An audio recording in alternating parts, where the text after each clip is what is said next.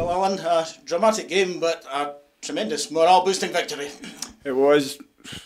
After the first half, we were looking at the result and we're thinking, uh, how are we getting beat at half time? Because I thought first half we dominated the game, we lost two cheap goals, um, and obviously we scored a really good goal. It's a great ball in for Jason Talbot, and Nicky Clark does what he does, and he gets there and finishes it off. As you say, disappointing to, to lose two softish goals. You made the change at half time and it worked out well for you.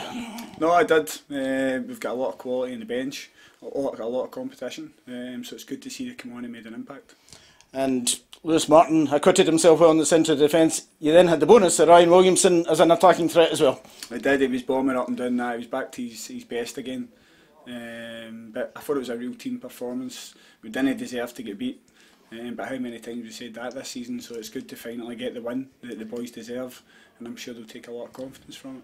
You brought in goal scorers into the squad, and after getting a bit of game time under their belt, both Nicky Clark and uh, significantly Faissal El Bakhtaoui at the end there, getting on the score sheet. Yeah, Nicky was sensational today. I thought he was everywhere. he set the tone for the game, uh, closing people down.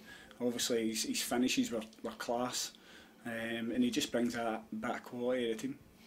Long way to go in the season, of course, but the way the results have worked out, you've jumped a few places in the division onwards and upwards.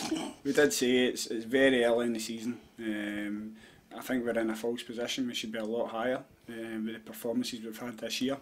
Um, but that will do a lot for confidence, and hopefully now we can kick on.